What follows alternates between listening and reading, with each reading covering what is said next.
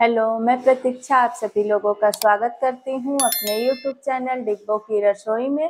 तो आज फ्रेंड्स आप लोगों के लिए मैं फिर से कुछ नई रेसिपी लेकर आई हूँ। तो आइए रेसिपी चालू करते हैं बनाना फटाफट। हेलो फ्रेंड्स तो आज मैं आप लोगों के लिए फिर से नई रेसिपी लेकर आई हूँ। तो आइए स्टार्ट करते हैं। यहाँ पे मैंने कढ़ाई रख दिया है। गर्म हो गई है कढ़ाई हमारा गैस ऑन करके। अब इसमें हम डाल देते हैं तेल। तेल हम सरसों का डालेंगे।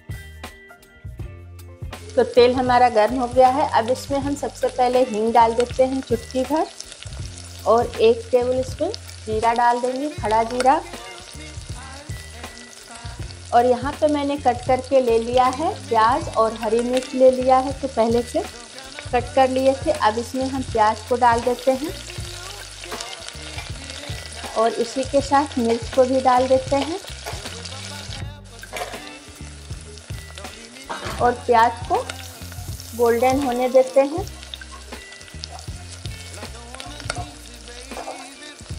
तो जब तक हमारा प्याज हो रहा है, तब तक देखिए, यहाँ पे मैंने ले लिया है एक कटोरी भर के मटर।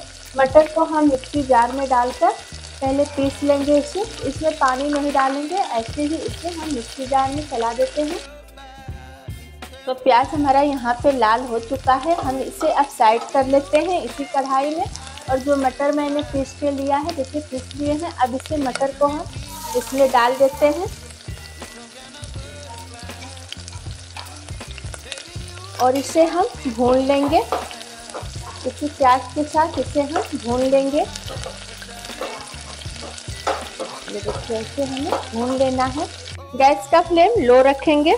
अब इसमें डाल देते हैं हल्दी पाउडर। आधा चम्मच हम डाल देंगे हल्दी पाउडर।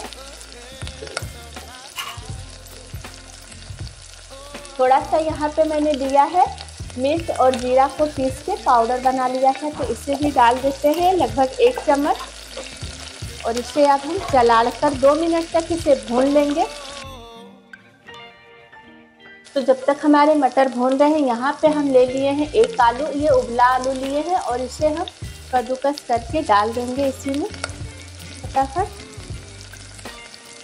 आलू को डाल के हम इसे अच्छे से इसी मटर के साथ जो है भून लेंगे। देखिए, इसका कलर आप देख सकते हैं, बहुत ही अच्छा कलर आ गया है। अब यहाँ पे फ्रेंड्स, मैंने लिया है एक कटोरी भर के बेसन। तो बेसन को भी अब इसमें हम ऐड कर देंगे। और पहले इसे हम अच्छे से इसी में मिला लेते हैं। तो दो मिनट तक देखिए, बेसन को भी डाल के हमने भून लिया है ताकि इसका कच्चापन नहीं लगेगा। और अब जिस कटोरी से मैंने बेसन लिया था, उसी कटोरी से आधा कटोरी सूजी भी ले लिए हैं। तो सूजी को भी डालकर दो मिनट इसे भी भूनेंगे। तो दो मिनट हो गया फ्रेंड्स, अब इसमें हम पानी ऐड करेंगे। तो पहले ये हम जो मटर डाले पीस के लिए थे, उसी का पानी है, थोड़ा सा उसमें डाल देते हैं। अब यहाँ पे हम लगभग एक गिलास पानी डाल देंगे। कम लगेगा तो और पानी डाल देंगे और इसे हम अच्छे से बिल्कुल चलाते रहेंगे।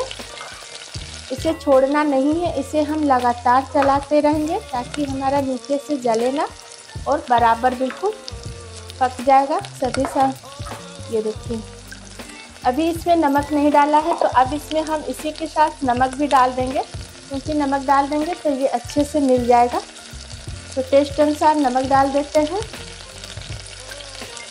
और अब इसे हमें लगातार पकाना है, चलाते हुए बिल्कुल बहुत ही टेस्टी है बन के तैयार होगा फ्रेंड्स। वीडियो के साथ आप लोग बिल्कुल बने रहिएगा। वीडियो को स्किप बिल्कुल भी ना किया करें। तो इसे हमें लगातार चलाते हुए पका लेना है। तो ये अब हमारा पक चुका है। आप देख सकते हैं, बिल्कुल बढ़िया से ये गाढ़ा हो चुका है। ये देखिए तो गैस को कर देते हैं आप। तो यहाँ पे मैंने लिया है हरा धनिया काट कर तो हरे धनिया को डाल देते हैं।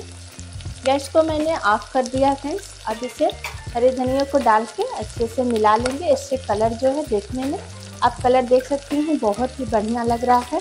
ये नाश्ता इतना टेस्टी बनता है फ्रेंड्स, यकीन मानिए। कोई भी मतलब यकीन नहीं मानेगा कि आपने इसे मटर और बेसन से बनाया है। बहुत ही यमी नाश्ता बनेगा।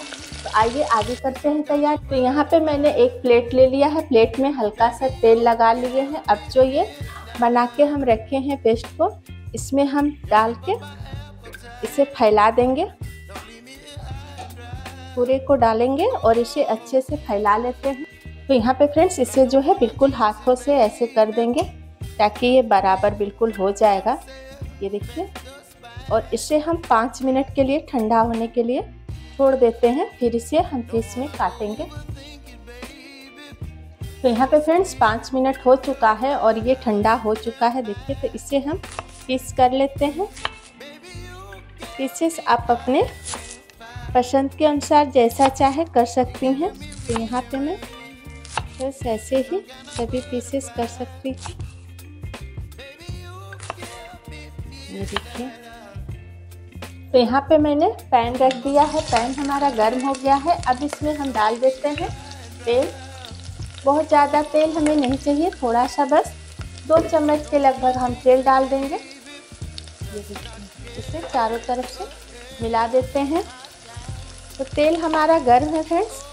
अब जो ये पीसेस हम करके रखे हैं, ये देखिए कितना बढ़िया पीसेस हुआ है। बस इसे हम एक एक करके डाल देते हैं।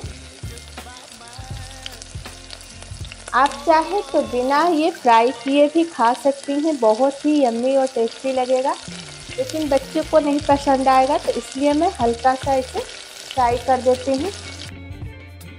तो अब इसे हम पलट देते हैं। बहुत ज़्यादा डीप फ्राई नहीं करना है हमें। ये देखिए, इतना बहुत है। इससे इसका टेस्ट जो है और भी बढ़ जाएगा फ्रेंड्स हल्का सा फ्राई कर लेने से। बहुत ही यम्मी नाश्ता ये बनके तैयार होता है और झटपट बनने वाली रेसिपी है। ये देखिए। तो यहाँ पे ये फ्राई हो चुका है। इसे हम प्लेट में निकाल लेते हैं। देखिए, आपको दिखाते हैं पास से। बिल्कुल बहुत ही बढ़िया और झटपट बनने वाला ये नाश्ता। आप जब भी चाहे सुबह के नाश्ते में, शाम के चाय पे भी बना सकती हैं नाश्ते पे। या बच्चों का लंच हो, आप उसमें भी बना के टिफ़िन में दे सकती हैं। बहुत ही बढ़िया ये।